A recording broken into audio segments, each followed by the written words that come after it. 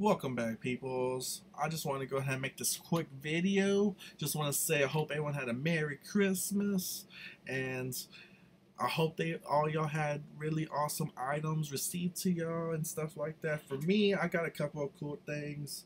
I mean, not a lot because I'm an adult, so my kid days of Christmas is over. But regardless, I did get a couple of things that I want to show y'all, and I end up going out buying a Christmas gift for myself even though I've been doing that kind of like oh the whole month of December, but regardless, this is a special day and I just want to show you the stuff I have. So Christmas already came and I got a few things for my family. And you know, it's real simple because like you never know what to get a family member or a friend because it's kind of hard. Do they want clothes? Do they want video games? You know, whatever. For me, it's simple because a lot of people know I into electronics, games, and stuff. So they say, you know what, we Ryan, we don't know what game you want, so let's just make it simple. Here's a gift card.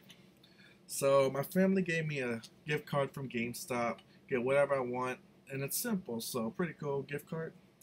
Besides that, they said, you like movies? Well, here you go. Here's a Cinemark gift card right here. So I could go to the movie theater and watch any movie I want uh, a few times if I want to. So right now, Star Wars is coming out. So Rogue One came out, so I'm gonna go check that out. And another cool thing, um, I don't know if any of y'all are interested in it, but One Piece, the newest One Piece, uh, Gold Film Gold, that's coming out January 11th to my theater. So I was really psyched about that because usually like with Dragon Ball Z or you know Naruto, they'll have a special US opening of their movies in theaters, but they were never close to where I'm at, so I could never go. But One Piece Film Gold is actually going to show up in my theater, so I'm probably going to use that to check that out. So I'm really hype about that, so that's pretty cool. Uh, besides that, I also got a few things. So I also went to a pawn shop. So I got these two games from a pawn shop, and that's Dragon Ball Z Tenkaichi 2 and Dragon Ball Z Battle of Z. So these are some awesome finds. Uh, got these for five dollars each. The boxes are a little dirty, as you can tell.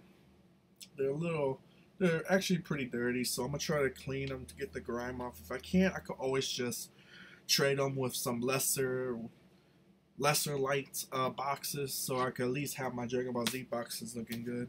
And I do love Dragon Ball Z, so yeah, awesome to get those.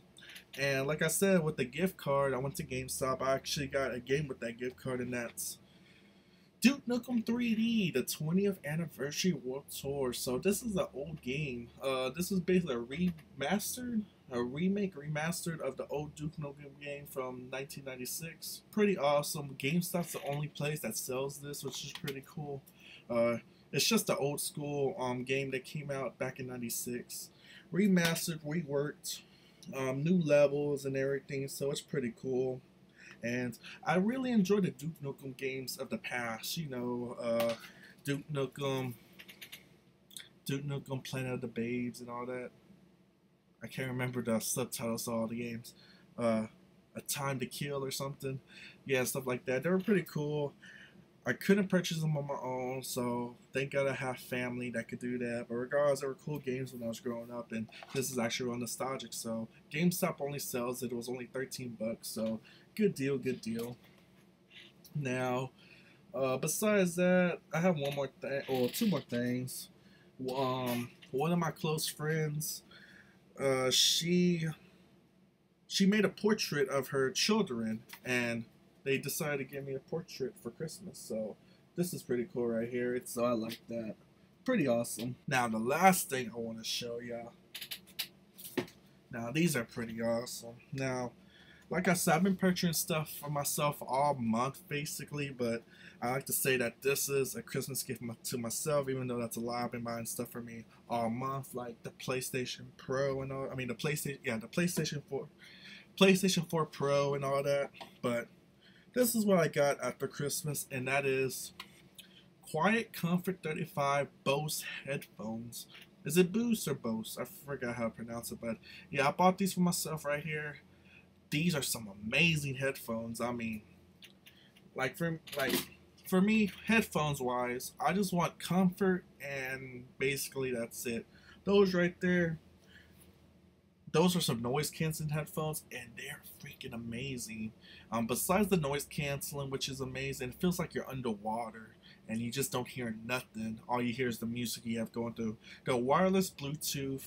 Um, they also have the auxiliary cable, so you could hook them up to your PlayStation 4 um, controller and play games and that. I hook it up to all my handhelds, my PS Vita, PlayStation Portable, uh, my Nintendo DS, and all that. So that's pretty cool. And yeah, they're freaking hype.